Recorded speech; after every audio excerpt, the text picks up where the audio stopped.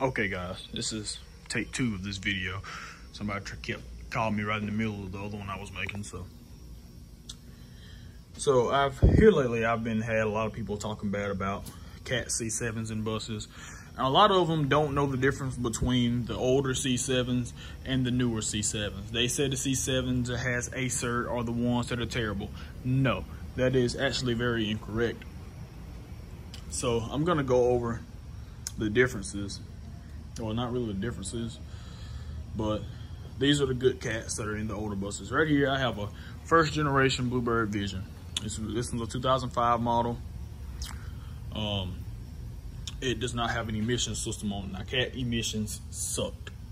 So, this is a regular uh, Cat C7 ACERT with a HEUI fuel system.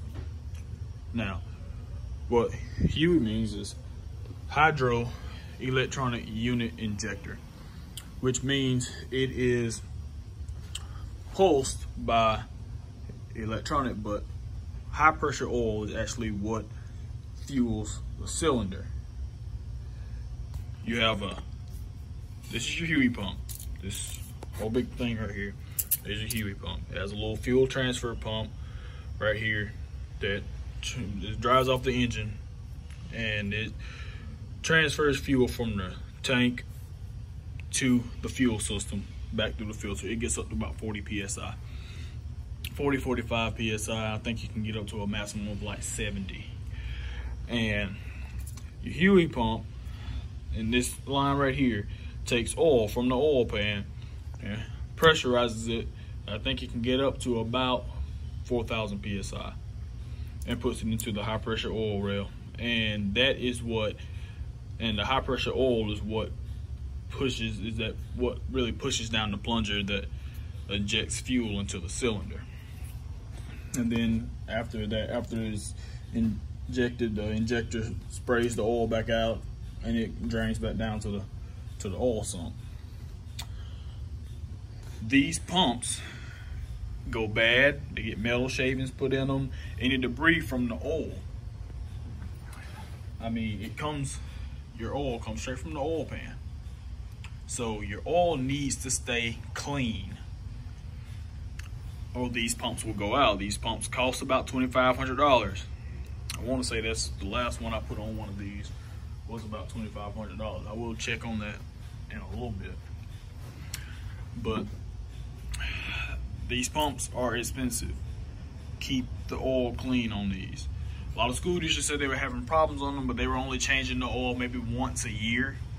And they were these buses were running every day. They was getting like 10, 15,000 miles on them a year, and they were running on the same oil. Need to keep the oil clean. A good oil, good oil filter. And then I'm gonna I'm gonna go ahead and step the filters for a second. Caterpillars do not like aftermarket anything. I'm not gonna lie to you, they will chew it up and spit it out. Caterpillars do not like aftermarket. I've had issues with aftermarket fuel filters. Like this one has a CarQuest filter on it. I mean, it works, but it just, I've had issues where some will run a CarQuest filter, some will act up if it's not, if it doesn't have a cat filter on it. Um, same thing for a cat oil filter. These engines are really particular. Um, this is not a bad C7. Now, the newer ones. The newer C7s are common rail. And it would have a, over there where the high pressure oil rail is, it would actually have a, a high pressure oil, it'll have high pressure fuel rail there and a high pressure fuel pump. And the oil does not get pressurized, so the oil doesn't have to be as clean. Um, then over here on this side, on the newer one, would be what you call an ARD head. And those are the ones that really have the issues. If you have a first generation Bluebird Vision, they never did come with what you call a C7S. But these are not the bad ones. Um, I'm just really trying to think of more stuff off the top of my head. I mean, simple injector swaps, and if you if you change the injectors, don't be cheap and just change one or two injectors that are bad, put a six pack of injectors in it, and be done. And you really won't have any issues with these engines. This one, I mean, this bus was here. I know now I work at the Burroughs, at Burroughs Companies, which is the Bluebird dealership for the state of Mississippi. This bus has been here since the day it was built, owned by the same school district. And then when the school district sold it, the uh, county bought it and they were started using it for a community service bus. It's been here this entire life, always had its services and all its service work done here. This bus has not had any issues. And there are several of them running around here that haven't had any issues with engine wise. These are not the bad ones because they kept their maintenance up. They used quality oil. Most of the time, quality filters. The only reason why there's a CarQuest filter on this bus now, I just did a service on it, is because we were out of the cat filters and they needed the bus. So we put a CarQuest filter on it. It'll work until we put another cat filter on it. But everything on this engine is original. Nothing else on it has been changed. And this bus has well over 200,000 miles on it. On the same engine. So these are not bad. Now, this is gonna be video one of my Caterpillar series.